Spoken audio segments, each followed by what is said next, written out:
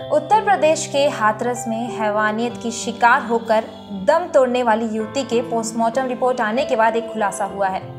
इस रिपोर्ट में युवती से रेप की पुष्टि नहीं की गई है, जिससे घटना में शामिल आरोपियों को फ़ायदा होगा।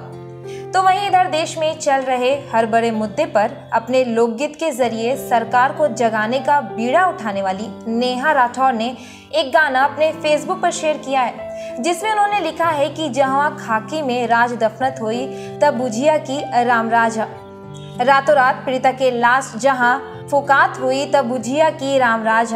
माई बेटिया के बिना छछनात हुई, तब बुझिया की रामराज।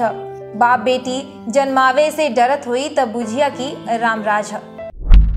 जहवा खाकी में राज दफानात होई, तब बुझिया की राम राज ह। जहवा खादी में हवसी लुकात होई, तब बुझिया की राम राज जहाँ दिन ही फूलमतिया है रात होई, तब बुझिया की राम राज ह। अरे नैनी के हाँ सुनैनी के दहिया नोचात होई। तब बुझिया की राम राज ह। जाति धर्म के झंडा लहरात होई। तब बुझिया की राम राज ह।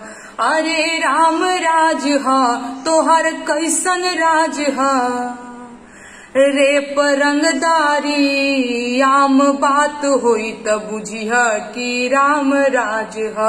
रातों रात पीड़िता के लाश फुकात होई तब बुझिह की राम राज ह। एहो खाकी में राज दफानात होई तब बुझिह की राम राज ह। माई बिटिया बिना छछानात होई तब बुझिह की राम राज ह। बाप बेटी जन्म जनमावे से डरात होई तब बुझिह की राम राज ह। एहो राम राज ह, तोहर कैसन राज ह? रे परंगदारी आम बात होई तब बुझिया की राम राज है।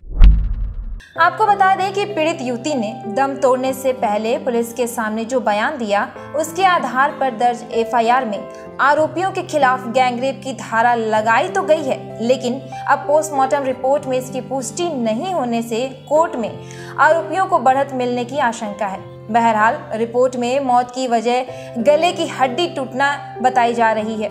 उधर इस मामले पर हाथरस ज़िले के एसपी का कहना है कि रिपोर्ट में बलात्कार किए जाने की पुष्टि नहीं हुई है। उन्होंने ये कहा है कि वे लोग फॉरेंसिक जाँच रिपोर्ट का इंतज़ार कर रहे हैं।